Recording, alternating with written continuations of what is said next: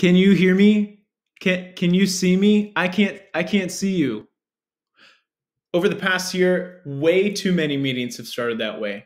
We all want to be productive. We all want our client meetings to come off as professional, to create connection through this tool. And yet, that small little hiccup can throw so much. It can create awkward moments. It can make it seem unprofessional. It just makes things clunky and unproductive.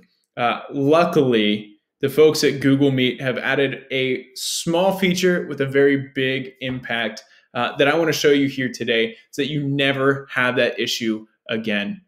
So, anytime you're launching a new meeting, you're going to be in this screen that you see here. Uh, and what you need to do is click this button right here to check your audio and video. You'll now have the option to check your microphone, your speaker, and your camera, and then click next. This will allow you to capture a short clip. A, B, C, D, E, F, G, say whatever you want. You just need to know that your audio is on, your video is on. Then you have the opportunity to play this back to double check. Clip. A, B, C, D, E, F, G.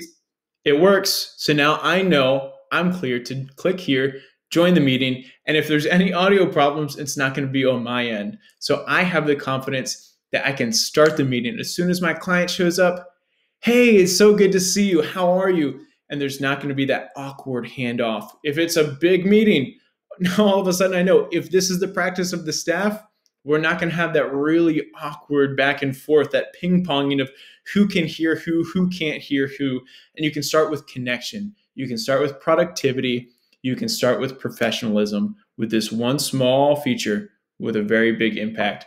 I hope that this serves you well. If this is new news to you, share it with a friend and let me know what your thoughts are here in the comments below.